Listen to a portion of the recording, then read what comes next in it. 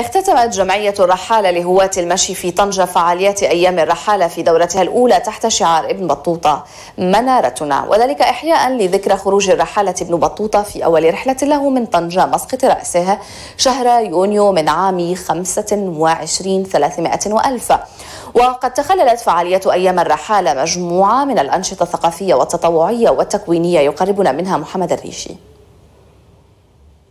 انطلاقا من الرمزية التي يشكلها ابن بطوطة لمدينة طنجة وإيمانا بإشعاعه في مجال الرحلة. والسفر وبمناسبة الاحتفاء بذكرى خروجه في أول رحلة له من مسقط رأسه بطنجة والتي تصادف شهر يونيو من كل سنة نظمت جمعية الرحالة لهواة المشي بطنجة. الدورة الأولى من مهرجان الرحالة بشعار ابن بطوطة منارتنا. أيام الرحالة في دورتها الأولى تنظم من طرف جمعية الرحالة لهواة المشي بطنجة تحت شعار ابن بطوطة منارتنا. الأيام شملت مجموعة من الفقرات البهارات على مدى أربعة أيام. اليوم نتواجد في اليوم الختامي للفعاليات. الآن ننظم نشاط بشراكة مع جمعية التواصل للصم ومقاطعة طنجة المدينة وبقية الشركاء. نتواجد الآن في غابة الرميلات غابة برديكاريس. آه، لننضم في في نشاط تحت عنوان الطبيعة مسلك وسلوك.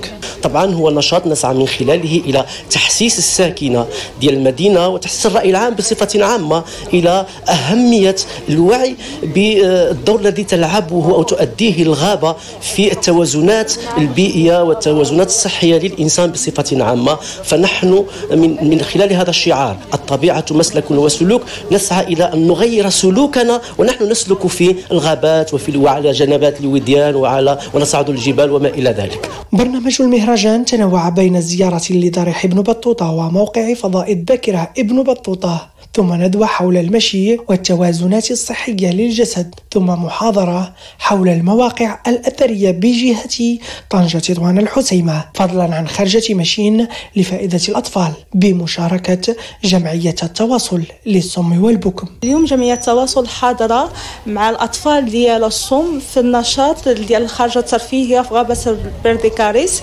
مع مشاركة ديالها في أيام الرحالة بشراكة مع جمعية الرحالة لهواة المشي آه، هي خرجة ترفيهية بيئية وكأنها حملة تحسيسية أن الأطفال الصم أطفال عاديين راه كيقدروا يمارسوا آه، حياتهم الطبيعية وهي إعاقة كاينة وما فيها حتى شي مشكل أنهم يشاركوا في أنشطة بحال هيدا داخل مدينة طنجة أو خارجها.